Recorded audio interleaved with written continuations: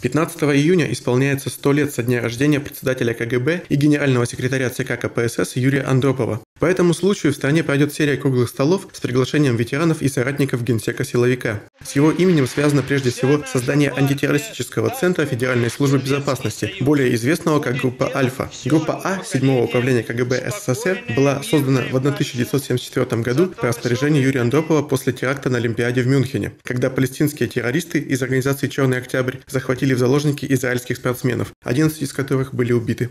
Зауральские ветераны спецслужб вспоминают, с какими надеждами встретили его назначение руководителем ведомства. Юрий Владимирович Андропов, который это, значит, пришел в непростое время, ну простых у нас времен значит, никогда не бывает, как вы знаете. И вот на фоне значит, тех событий, которые творились до того, сложился достаточно мрачный образ, не позитивный в отношении органов госбезопасности. И вот, на мой взгляд, с приходом Юрия Владимировича, значит, это все, значит, ну, в общем, стало постепенно меняться. На один из юбилеев Андропову подарили меч, как один из символов карающего ведомства. Однако руководитель КГБ сказал, что предпочел бы в подарок получить щит. Его система, которую он, я считаю, внедрил и активно проводил жизнь, заключалась, заключалась в том, чтобы предотвратить преступление на его ранней стадии.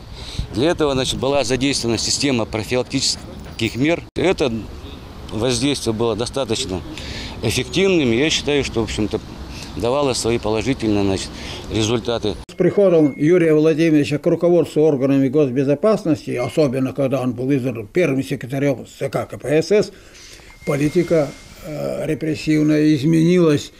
Вот. Вместо усиления, конечно, настоящих врагов репрессировали, а тех, кто заблуждался и под влиянием антисоветской элементов вставал на неправильный путь, их профилактировали, предупреждали. Еще одним колоссальным сдвигом работы чекистов под руководством Андропова стала его непримиримость к коррупции. Особенно наглядно это продемонстрировали чистки в Азербайджане и Грузии, где были арестованы сотни партийных функционеров уровня секретарей обкомов и чиновников различного ранга. КГБ тогда удалось доказать, что крупные суммы денег, стекавшиеся в виде взяток в ЦК КПСС республик, уходили за границу и оседали на зарубежных счетах. Именно Андропов прижал торговую и рыбную мафии. Достаточно вспомнить лишь несколько громких процессов знаменитого елисейского гастронома Московского главторга. Но еще больший общественный резонанс вызвало разоблачение злоупотреблений в ближайшем окружении правительственной верхушки и так называемые хлопковые махинации в Узбекистане. Только по ним КГБ возбудил 70 уголовных дел. В 2014 году, накануне столетнего юбилея Юрия Владимировича Андропова, депутаты Госдумы обратились к главе ФСБ с предложением назвать управление А именем его основателя. Василий Малухин, Александр Киселев, Светлана Пестерева, информационное агентство Курган.ру.